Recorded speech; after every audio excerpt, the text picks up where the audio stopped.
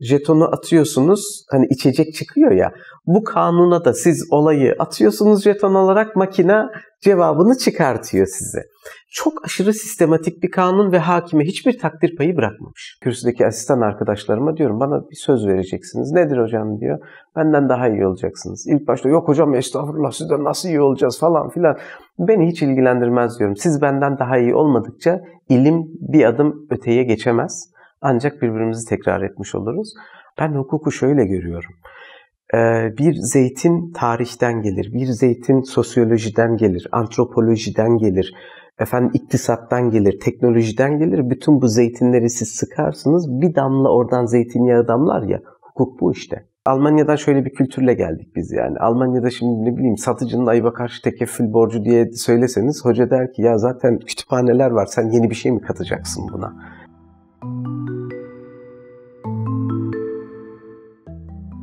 Ben Furkan Güventaş'tan. Hukuk Atölyesi başlıklı bu podcast serisinde alanında usta olan isimlere yalnızca yöntemlerini soruyorum.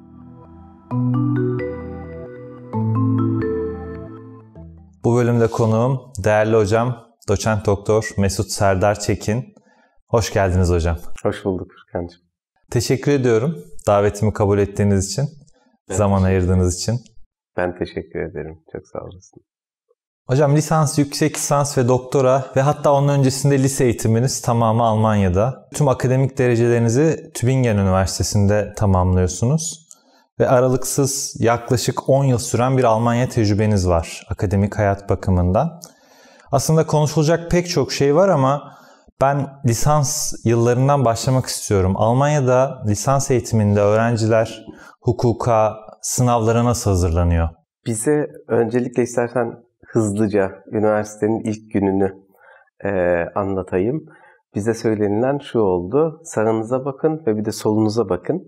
Üniversiteyi bitirdiğinizde, mezun olduğunuzda o arkadaşları göremeyeceksiniz. Çünkü e, mezuniyet oranı ortalama %30, %40. E, yani ciddi bir e, eleme sistemi söz konusu. E, ve bitirenlerin de açıkçası şöyle söyleyeyim, e, ortalama 18 puan üzerinden bir e, puanlama yapılıyor. 4 ee, puanla geçiyorsunuz. Ortalamanız 4 puan olduğunda mezun oluyorsunuz üniversiteden ee, ve 9 puan üstü aslında gerçekten de hakimlik, savcılık ya da büyük hukuk bürolarında rahatça iş bulabilme e, için kapıları size açmış oluyor. Bu da e, en iyi %15'e ortalama tekabül eden bir oran. Yani o %30'un da %15'i aslında hakikaten iyi bir dereceyle bitirmiş oluyor. Ee, ilk başladığımızda aslında hakikaten e, liseden e, üniversiteye geçiş böyle bir soğuk suya atlama gibi oldu. E, ders planı yok. Ne yapacaksınız? Öğrenci kulüpleri olsun, diğer arkadaşlarımız olsun onlarla hep beraber birlikte bir plan hazırlıyorsunuz elbette. Fakat benim birinci dönem şöyle maceralı oldu. 2-3 ay boyunca ben hani derslere giriyorum, işte bir kitap takip etmeye çalışıyorum. E, fakat hala böyle bir ortada havada hissediyorum kendimi. Sonra bir arkadaşımız benim daha üst dönemimden bir arkadaş geldi dedi. Mesut dedi sen ders kitabı bitirdin mi dedi bu dönem. Yok dedim. E pratik çalışma kitabı bitirdin mi dedi. Yok dedim. E ne halt yedin sen dedi. Birden orada dank etti. Ve ondan sonra ben her gün düzenli olarak kütüphaneye gidiyordum. Sabah 9 gibi e, kütüphaneye girip akşam 5-6 e, gibi e, çıkıyordum kütüphaneden. E, tabii ilerleyen dönemlerde cumartesi günü de dahil oldu. Cumartesi günü de çünkü deneme sınavlarımız oluyordu. E, öyle lisans eğitimine başladık. Benim maceram da böyle başladı Tübingen Üniversitesi. Hocam o zaman başladığınızda ilk yıllarda yani daha doğrusu ilk dönem diyeyim yöntem açısından biraz arayışla geçti. Muhakkak. Sonra oradaki öğrencilerden, üst dönemlerden nasıl çalışılması gerektiğine ilişkin bir şeyler öğrendiniz mi? Ee, üst dönemlerden çok aslında ben e, tabii kendi e, çalışma tipimi, öğrenci tipimi de öyle keşfetmiş oldum. Şöyle ki sabah 8.30'da derse gidip de dinleyemiyordum ben açıkçası. Veya ben dinleyerek de çok fazla öğrenebilen bir e, öğrenci tipi değildim. Kendi başıma çalışmayı daha çok seviyordum. Dolayısıyla hangi dönemde hangi dersi alıyorsam onun kitaplarını ve muhakkak pratik çalışma kitaplarıyla birlikte destekleyerek yapıyordum. Fakat e, Almanya'daki lisans eğitimiyle alakalı şunu da söyleyeyim. Sizin lisans eğitiminiz esnasındaki e, girdiğiniz sınavlar, elde ettiğiniz notlar aslında sadece bir ön aşama. Neyin ön aşaması? Devlet sınavının ön aşaması. Yani bu şu anlama geliyor. Üniversitede e, dünyanın en fantastik notlarında almış olabilirsiniz. Hiçbir anlam ifade etmiyor. Zira sizin üniversiteyi bitirip bitirememeniz münhasıran devlet sınavındaki gösterdiğiniz performansla alakalı. Nedir bu devlet sınavı da? Ee, eyaletten eyalete farklılık gösteriyor tabii. Ben Baden-Württemberg eyaletindeydim. Orada da e, toplam 3 tane özel hukuk, 2 e, tane kamu hukuku ve bir tane de ceza hukuku sınavından müteşekkil bir sınav. E, hepsi de yazılı sınav aşaması bu. Hepsi de beşer saatten toplam 30 saat ediyordu. 2 hafta içinde bu e, 6 tane sınava giriyorsunuz. Burada tabii hocam şu farklı zannediyorum. Fakültede her bir dersin kendi içindeki mantığını öğrenmeye çalışıyorsunuz. Öyle geçiyorsunuz. Ama devlet sınavında hukuku bir bütün olarak algılayıp artık size verilen orada pratik bir olay mı bilmiyorum ama oradaki tüm belki özel hukuku, kamu hukukunu ilgilendiren bütün müesseseleriyle soruları cevaplandırmanız bekleniyor o bağlantıyı kurmak zorundasınız. Lise, lisans eğitiminiz veya üniversitedeki sınavlar esnasında evet hani sınava giriyorsunuz, o konu hakkında yetkinliğinizi gösteriyorsunuz, geçmiş olsun. Fakat devlet sınavında öyle değil. Devlet sınavına girdiğinizde e, özel hukuk sınavında e, işte icra iflastan girdik. Oradan e, eşyaya bağladık, borçlar genele bağladık, aileden çıktık bir sınav içerisinde. Ve hepsinin tıkır tıkır bağlantılarını kurmak zorundasınız. Konu olarak da 4 senelik üniversite eğitiminde ne gördüyseniz hepsinden sorumlu kılınıyorsunuz. O bağlantı kurabilme e, çok önemliydi, çok kıymetliydi benim için açıkçası. Ve muhakemeyi de geliştiren bir şey. Muhakkak. Bir de şu oldu, e, ben e, oradaki tezimi, doktora tezimi paylı ortaklıklar, şirketler hukukunda yazdım. Ama Avrupa Birliği hukuku alanında ders verdim e, özel bir dershanede. O devlet sınavına hazırlık e, dershaneleri var. Orada a, işte AB hukuku dersi verdim. Ceza kürsüsünde asistanlık yaptım. E, fikri mülkiyet ve sözleşmeler hukuku alanında Ondan sonra da sermaye piyasası ve şirketler hukuku alanında avukatlık yaptım. Tam avukatlık aslında tecrübenizi soracağım. Ee, evet ve yani böyle bir all-rounder e, oldum bir nevi orada. Ee, dolayısıyla da her alandan farklı fikirlerle beslenmeyi de e, öğrendim diyelim. Hocam yine akademiye döneceğiz ama biraz önce bahsettiğiniz avukatlık tecrübesini sormak istiyorum. Almanya'daki bu 10 yıllık aralıksız tecrübeniz içerisinde e, özel sektördeki avukatlık tecrübeniz de var. Dünyanın en büyük hukuk bürolarından bir tanesinde avukatlık yaptınız. Avukatların iş yapış tarzları açısından sizce Türkiye ve Almanya arasında nasıl farklar var? Ee, şöyle başlayayım. Ee, benimki tabii e, özellikle o doktora bittikten sonra ve e, asistanlık bittikten sonraki atıldığım o uluslararası hukuk bürosu macerasında girdim ve ilk projemiz 4 milyar dolarlık bir satın alım, e, şirket alım projesiydi.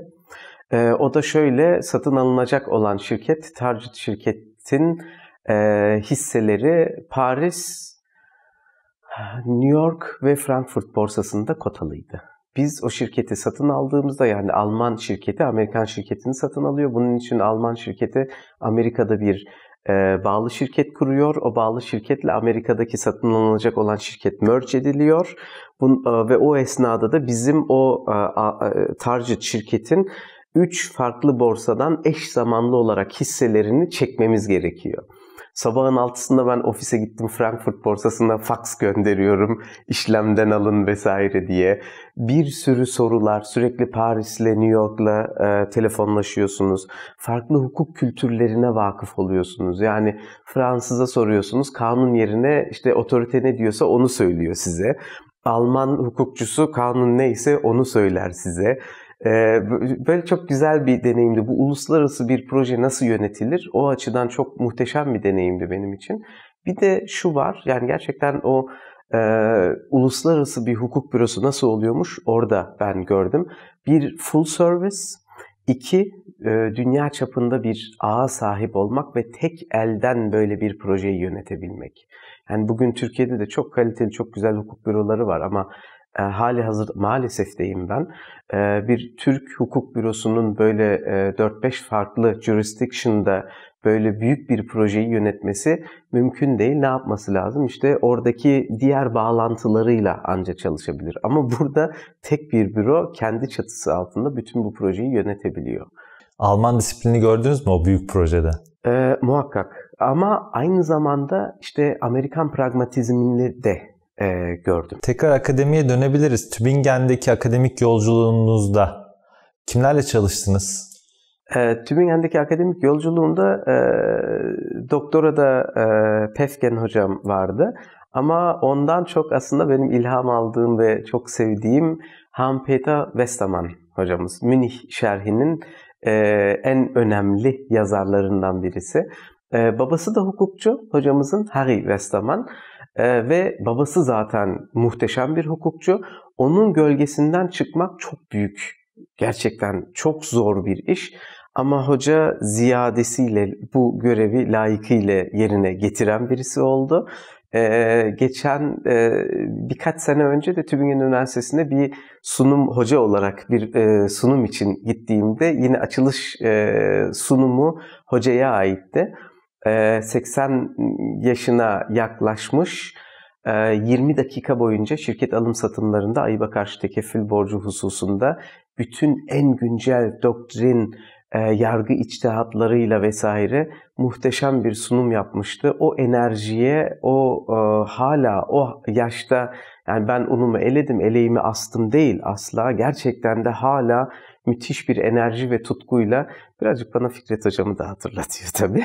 Ben de onu soracaktım hocam. Yani yaşça ilerlemesine rağmen o tip hocalarda e, hala enerjiyi görmek mümkün. Bu biraz belki şeyin sonucu olabilir. Hukuku gerçekten bir tutku olarak, bilimi gerçekten bir tutku olarak görüyorlar ve şekle sarılıyorlar yaptıkları işe. Bir de benim o hocalarda çok kıymetli bulduğum bir şey var. O da şu. E, şimdi ben hani İngilizcem var, Almancam var, Amerika'daki kaynaklar, Almanya'daki kaynaklar çoğu şeyden istifade edebiliyorum. Evet, e, çoğu şeye ulaşabiliyorum. Kendim de bir nebze muhakeme edebiliyorum. Evet ama bizzat başıma gelen birkaç olayı da anlatayım. Bir hususta İstanbul Üniversitesi'nden Abuzer Hocam, kıymetli Abuzer kendi gelen hocam.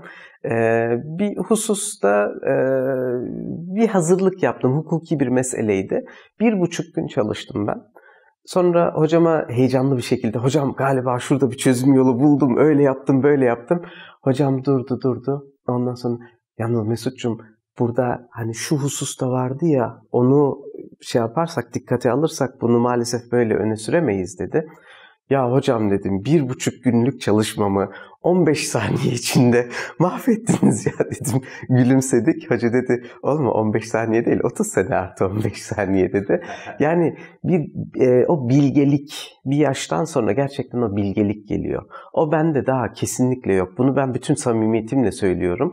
O hocalarımızın işte o tecrübe kazandıkça, insanları tanıdıkça, o analiz ettikçe, muhakeme kabiliyeti kuvvetlendikçe artık onların kıymeti gerçekten daha da bir farklı bir aşamaya geliyor.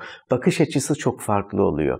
Bana bir şeyi bir saat anlatmanız gerekiyor belki. Ona söylediğinizde zaten benzer paradigmalarla, parametrelerle pardon düşündüğü için önceden benzer şekilde benzer olaylarla karşılaştığı için iç yüzünde çok daha hızlı vakıf olabiliyor. O açıdan yani hocalarımız e, o, o bilgelik çok kıymetli geliyor bana. Westerman hocadan neler öğrendiniz yöntem bakımından?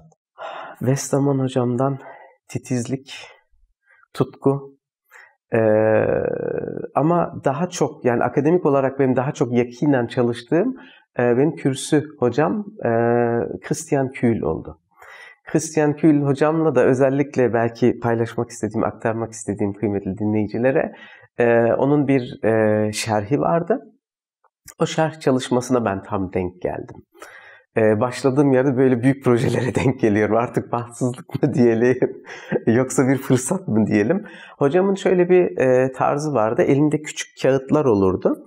E, tabii her ay yeni e, dergiler gelir. E, hocam da her ay gelen dergiden notunu alırdı şerhi için. A4'ün dörtte biri değil mi A4'ün hocam? A4'ün dörtte biri aynen. O ufacık Almanların kağıtlara. o meşhur not sistemi. Aynen. Evet. Ve hoca ondan sonra bize şunu yapardı. Derdi ki İşte bilmem paragraf 30'a dair bak şurada şu dergide şu makale. İşte federal mahkemenin şu kararı. Bilmem şu mahkemenin bu kararı. Çünkü paragraf 30'un tek bir not kağıdı var Aynen. ve bütün e, farklı kaynakları tek tek not Aynen. etmiş oraya. Aynen. Ve diyor ki Furkancığım al buyur. Şerhte 30. maddeye bunları işleyeyim mi, işlemeyeyim mi? İşleyeceksem de tek bir kelimeyle lütfen. Ya da iki üç kelimeyle ben bunu bu şerhe nasıl koyayım? Öneride bulun. Ha şunu da hemen belirteyim. Yani sanki hoca bize mi yazdırıyor diye de düşünebilir insanlar ama orada da yine e, şöyle bir şey oldu. Abuzar Hocam örneğinden devam ediyorum. Bir e, federal mahkemenin bir kararıyla alakalı hoca bütün kürsüye dedi ki sevgili arkadaşlar bir görüşlerinizi yazabilir misiniz? Ne düşünüyorsunuz? Bir sayfalık sadece dedi. E, sonra biz yazdık bir şeyler. Ondan sonra 2-3 ay sonra hocanın şeyi yayınlandı. Hocanın yazdığı yayınlandı. Yani biz işte e, beşincilik e, amatör futbol kulübü hoca gerçekten Real Madrid Barcelona karşılaşmasında Real Madrid'i 5-0 yenen Barcelona takımı. Arada uçurumlar var. O kadar müthiş derinlemesine bir e, yaklaşım ki ve ben şunu da hatırlıyorum yani orada kılık kıyafet meselesinde de çok rahattık ama ben hoca bana ne zaman bir şey sorsa terlerdim terlerdim korkudan. Çünkü o kadar derinlemesine bir bilgi sahibi ki zaten çift doktoralı. Bilmem kaç tane fahri doktora. Profesör Doktor Doktor H.C. Multz. Doktoranın birisi felsefe, diğeri e, hukuk. E, kendisi bu arada Alman 2. liginde neredeyse profesyonel sözleşme imzalayacak. Dizi sakatlanıyor. E hadi hukuk okuyayım diyor ve profesör oluyor. Böyle enteresan e, kariyerler de var. Benzetme tam oturdu. evet. Ve işte hocamın o yani her zaman up to date. Her zaman o aklının bir kenarında ya koskoca şerh nasıl yazılır? Böyle yazılıyor. Her zaman up to date olmakla. Yani birden aman o kadar şeyi nasıl yazacağım değil. Güncel takip etme, her zaman notunu alma, her zaman arka planda o şerhi düşünme ve muhteşem bir iş paylaşımı tabii ki. Kim neyi nasıl yapabilir? Kimin yönü daha kuvvetlidir? Kim neyi belki o kadar iyi yapamaz? Ama işleri de nasıl eşit paylaştırabilirim? O zaman yani bu hocam akademisyenlerde belki çokça rastlanmayan bir özellik. Akademik çalışmada derinleşme, kendi başına derinleşmeyi evet görüyoruz ama işi doğru kişiye delege etme ve bunu eşit şekilde delege etme. Valla orada da yine... Çok nadir herhalde. Şimdi Abuzar Hocam bugün çok zikrediyoruz da bir gün Abuzar Hocam geldi dedi ki çocuklar dedi söyleyin bana dedi profesör kime denir dedi.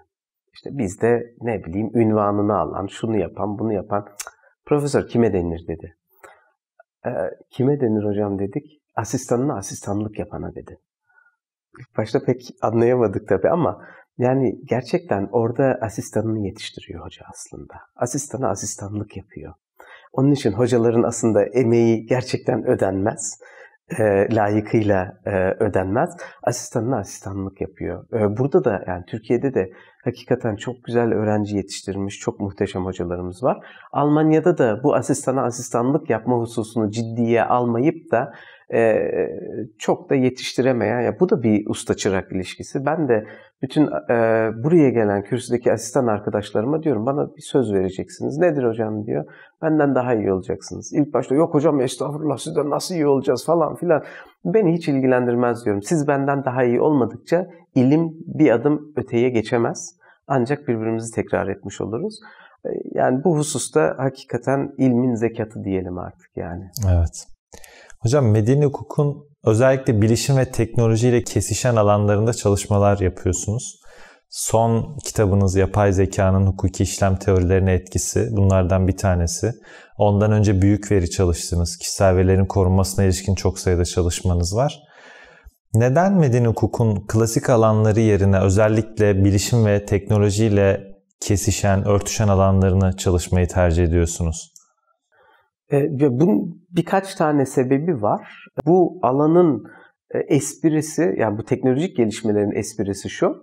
Bir şey söyleyebilmeniz için aslında çok sağlam altyapıya sahip olmanız lazım. Yani kişisel veri dediğimizde hukuki niteliği nedir? Hak teorisi bağlamında mal varlığı mı, kişilik hakkı mı? Kişilik hakkı mal varlığı haklarına dahil olabilir mi acaba? Veya alışverişe konu olabilir mi? Bunun gibi meselelerin cevabını ararken daha birinci sınıfa geri dönmeniz gerekiyor. Hak teorisine, hak kavramına geri dönmeniz gerekiyor. İşte blockchain'deki gerçekleştirilen işlemler, eşya hukuku, borçlar hukuku boyutu, eşya hukukunda mülkiyetin koruması yoksa o zaman ben bunu sözleşmesel yöntemlerle çözmeye çalışacağım. Veri üzerinde mülkiyet yok evet ama ben yine de cezai şart öngöremez miyim? Veriyi devrettiğim kişi lisansa aykırı şekilde kullandığında vesaire. Bunun gibi sorular beni çok cezbediyor, heyecanlandırıyor. Yani hali hazırda bir de Almanya'dan şöyle bir kültürle geldik biz yani. Almanya'da şimdi ne bileyim satıcının ayıba karşı tekeffül borcu diye söyleseniz hoca der ki ya zaten kütüphaneler var sen yeni bir şey mi katacaksın buna e, denilir. E, bu sebeple de her zaman böyle zaten yeni spesifik konular e, cezbetmişti beni. İşte teknolojide de beni heyecanlandıran gerçekten de or, orada gel, e, yani a, ayağı yere basan bir şekilde bir şey söyleyebilmeniz için ta 100 sene öncesine geri dönmek zorunda kalıyorsunuz. Çok güzel bir heyecan. Yani dolayısıyla hocam sahip olmanı, olmamız gereken altyapı spesifik bir alana ait. Bu geleneksel bir hukuk dalı olabilir. Bunun üzerine bilişim ve teknolojinin problemlerini yine bu alandan aldığınız temel ilkelerle çözmeniz gerekiyor. Şöyle söyleyeyim. Bilişim hukuku dediğinizde ister istemez bir regülasyon mantığı var bu olayın. Özel hukukçu olarak siz regülasyon mantığına her zaman vakıf olamayabilirsiniz. Ee, öte yandan ama işte kişisel veri dediğimde ben açık rızanın hukuki niteliği nedir acaba? E nereden geliyor bu? Kişilik hakkı, aydınlatılmış onamı, rızası, bütün bunlar zaten bizim veya bo borçlar hukukunda sözleşme yaparken dahi ben irade beyanıyla bir yükümlülük altına girmeyi kabul ediyorum. Çok benzer müesseseler. İşte o açıdan ben medeni hukukçuyum ama teknolojik gelişmeleri özellikle ele alan medeni hukukçuyum diyorum. E, fakat dediğim gibi bu alanda da e, yani overall çok e, güzel bir bakış açısına sahip olan arkadaşlarımız da var. İşte ortak arkadaşımız sevgili Bedi'mi de burada zikredeyim. E, gerçekten yani onun mesela hem teknik altyapısı olsun, işte bir taraftan telekomünikasyon, öbür taraftan elektronik ticaret, bunun mantığına da, o nosyona da e, vakıf. Şimdi şunu da görüyoruz bu arada, hukukçu nosyonu dediğimiz. Ee, bu şöyle olmasın yani hukukçu istediği gibi istediği şeyi söyler, her türlü çevirir vesaire anlamında değil. Ama e, hukuk yine de, şimdi hukukçular bana çok kızacaklar ama biz günün sonunda yine hizmet eden bir alanız, bir bilimiz. Biz başka alanlardan besleniyoruz. Ben hukuku şöyle görüyorum. Ee, bir zeytin tarihten gelir, bir zeytin sosyolojiden gelir, antropolojiden gelir, efendim iktisattan gelir, teknolojiden gelir. Bütün bu zeytinleri siz sıkarsınız. Bir damla oradan zeytinyağı damlar ya. Hukuk bu işte. Menfaatleri önce bir tespit edeceksiniz. Arka plandaki iktisadi, felsefi, sosyolojik e, menfaatleri tespit edeceksiniz. Ondan sonra da işte bunların düzenlenmesi alanında enstrüman hukuk bilimi. Bu ne kadar iyi yaparsanız kendi toplumunuzun ihtiyaçlarına da bu kadar iyi cevap verebilirsiniz. Son benzetmenizi de dikkate aldığımızda sizce her alanın ayrı ayrı bilişim ve teknolojiyle olan bağından mı hareket etmeli yoksa bilişim ve teknoloji hukukunu başlı başına bir hukuk dalı olarak kabul edip böyle geniş bir perspektiften mi bakılmalı? Tipik bir hukukçu cevabıyla topu ben taça atayım. Ee, yani bu başlı başına bir hukuk dalı olmalı mıdır yoksa diğer hukuk dallarının sadece bir parçası mıdır? Buna dair malum yıllardır da süre gelen bir tartışma var. Yani ikisi de farklı, ikisinde olumlu tarafları var.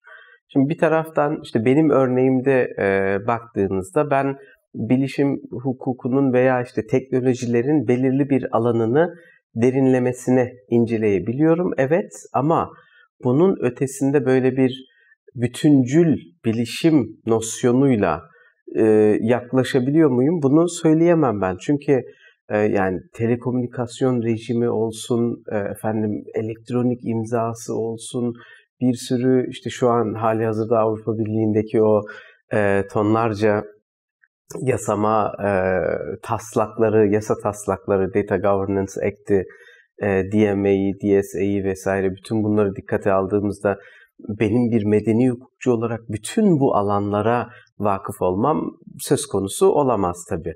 Dolayısıyla da diğer tarafın da e, avantajı bu olacak. O nosyona sahip olmak, o bütüncül e, yaklaşıma sahip olmak.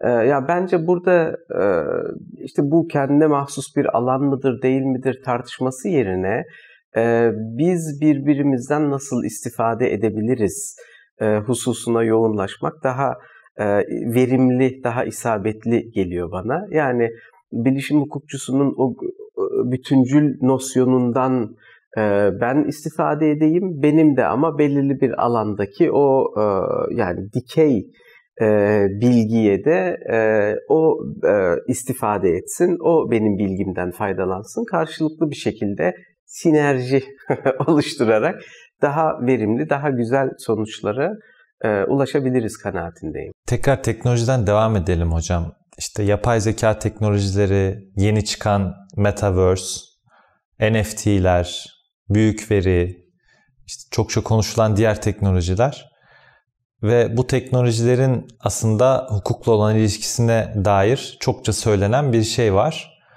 Teknoloji doğar, gelişir, bitmeye yakın belki hukuk. Ancak bir düzenleme yaparak o teknolojiyi e, regüle etmeye çalışır. Yani hukuk teknolojinin bir anlamda arkasından gelir. Teknolojiler artık çok daha hızlı gelişiyor ve sürekli yeni teknolojilerle de karşılaşıyoruz. Sizce hukuk ve teknoloji arasındaki farkın daha fazla açılmaması için nasıl hareket edilmeli? E, şimdi bunun çözüm yolu ne olabilir? E, GDPR'dan birazcık e, bu genel veri koruma tüzüğünden esinlenerek. Orada denilen şu.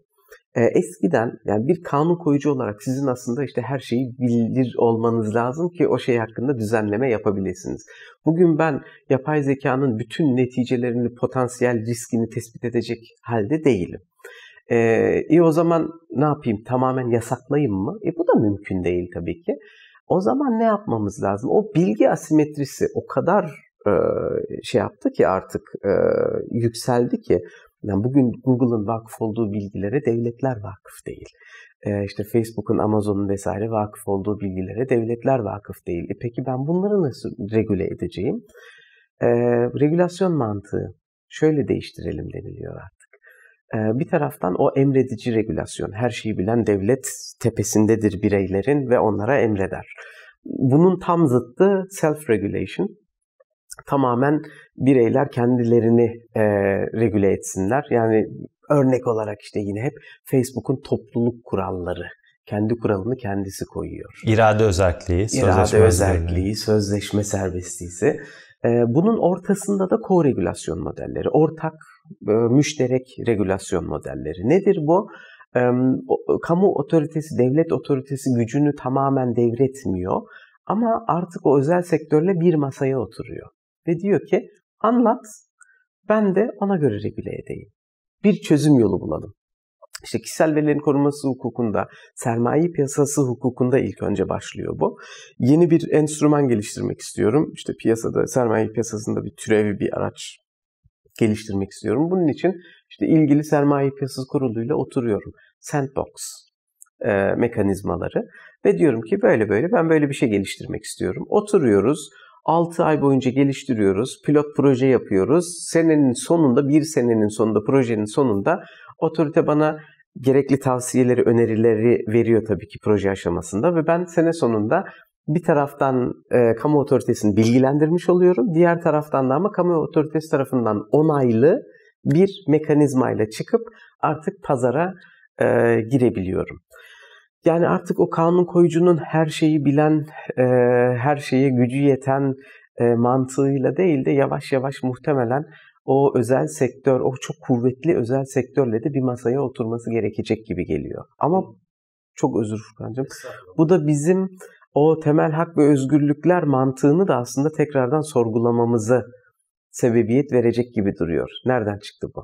Temel hak ve özgürlükler normalde neydi? İşte o e, güç tekelini elinde bulunduran devlet e, bireye karşı herhangi bir düzenleme yaptığında onun ister istemez bir temel hak ve özgürlüğünü sınırlandırıyordu.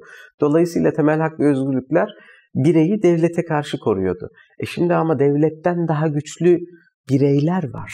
Şirketler. Şirketler, güzel kişilikler.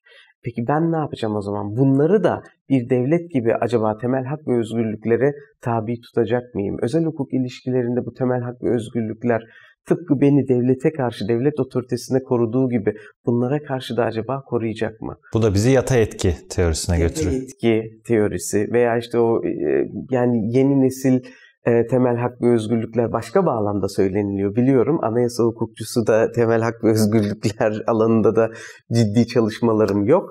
Onu yine e, hocalarımıza bırakayım, burnumu so- sokmayayım o alanlara ama burada da hakikaten yani bakış açısı olarak bile e, yeni paradigmalara ihtiyacımız olacak gibi gözüküyor. Hocam teknolojiyi geride bırakalım biraz daha biraz daha kadim bir mesele. Diller, iletişim.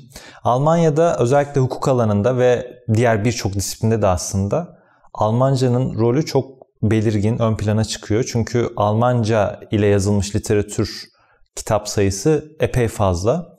Ama öte yandan da özellikle bilişim ve teknolojiye dokunan alanlarda yine girdik bilişim ve teknolojiye. İngilizcenin de bir hakimiyeti söz konusu. Ve artık yavaş yavaş evet Almanca bilim dili ama e, yayın yapma ve özellikle iletişim açısından hakim dilin tekrar Almanya'da dahi İngilizceye döndüğü söyleniyor. Doğru mu? Sizin gözlemleriniz güncel çünkü bu alanda. Şöyle, uluslararası camiada tanınmak istiyorsanız Almanca pek bir işinize yaramıyor gerçekten de. İngilizce. Alman hocaların dahi çoğu işte o um, kitap bölümlerinde e, tabii ki İngilizce yayın yapıyorlar. E, fakat bu hukuk nosyonu, hukuk kültürü açısından ben Almanya'nın Almancanın şöyle faydasını görüyorum.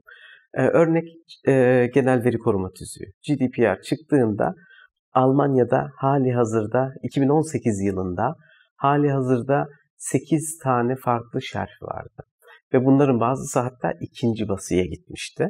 Şu an üçüncü basıda olan şerhler var. Ee, ilk İngilizce commentary çıktığında herkes çok seviniyordu. Ben o esnada Back Online'dan 8 tane, 10 tane Almanca şerhe ulaşabiliyordum. Ee, şimdi spesifik alanlarda hala bir zenginlik mevcut. Diğer taraftan sadece dil açısından da değil, kültürel hukuk kültürü açısından da İngilizce müthiş bir zenginlik. Onu da şöyle açıklamaya çalışayım. Ee, geçenlerde Dark Patterns ile alakalı e, bir araştırma yapıyorum.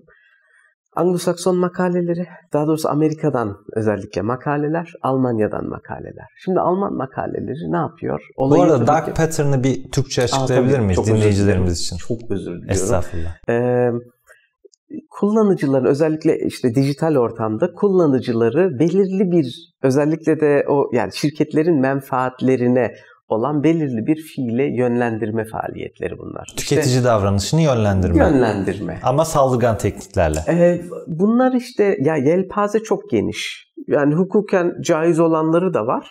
Ama sizin bilinçaltınıza oynayıp da sizi tamamen objeleştiren ee, ve yani hukuk e, meşru dairenin çok dışına çıkan yöntemler de var.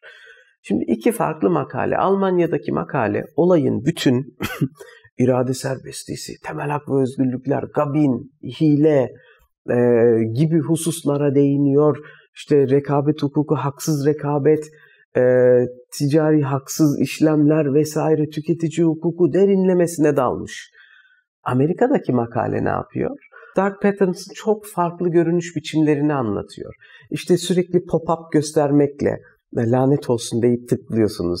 Veya asıl esaslı bilgiyi çok gizli saklı bir yerlerde böyle kuytu köşede gösterip sizi asıl daha pahalı olan şeye sevk eden yöntemler olsun. Kişisel verinizi ifşa etmeye yönelik yöntemler olsun. Birçok yöntemi çok güzel incelemiş ama ne zaman dogmatik temellere geldiğimizde konu kapanıyor. Dolayısıyla ikisi aslında çok güzel bir sentez. Yani bir taraftan o Amerikan hukukundaki o pragmatizm işine yarıyor mu? Yarıyor. Çok güzel tamam. Daha ne uğraşıyor? Yok kamu hukukuymuş, yok özel hukukmuş. Bana ne? Orada aslında uygulamanın doğrudan kendisini görüyorsunuz. Aynen. Aynen. Yani Çok somut olayı orada görüyorsunuz. Aynen. Çok canlı örneklerle orada görüyoruz. Ama hukuk e, kısmı e, Almanya'da. Hukuk kısmını ben daha çok Almanya'dan o teorik altyapıyı bunu nasıl temellendirebilirim min cevabını da Almanya'dan almış oluyorum. Belki bu bağlamda eğer vaktimizde varsa kısaca işte Almanya'dan ilk geldiğimde e, Alman Medeni Kanunu aşırı sistematik bir kanun. Hukukçular için yazılmış bir kanun. Normal Alman vatandaşını okutsanız o da anlamaz yani. E, ve kanunu yazanların e, gerçekten varsayımları şu. Jetonu atıyorsunuz hani içecek çıkıyor ya. Bu kanuna da siz olayı atıyorsunuz jeton olarak makine cevabını çıkartıyor size. Çok aşırı sistematik bir kanun ve hakime hiçbir takdir payı bırakmamış. Türkiye'ye geldim. Almanya'da 10 sene boyunca hukuk eğitimi almışım, avukatlık yapmışım, üniversitede kürsüde çalışmışım vesaire. Türkiye'ye geldim. Açıyorum medeni kanunu. Hakim takdir eder de hakim takdir eder. Hakim takdir eder de hakim takdir eder. Şok oldum. Fakat hani ilk başta böyle bir bilmediğiniz bir şeyle karşılaşıyorsunuz, yadırgıyorsunuz. Ama hiç yadırganacak bir şey değil. Çok mantıklı bir şeymiş hem de. Neden?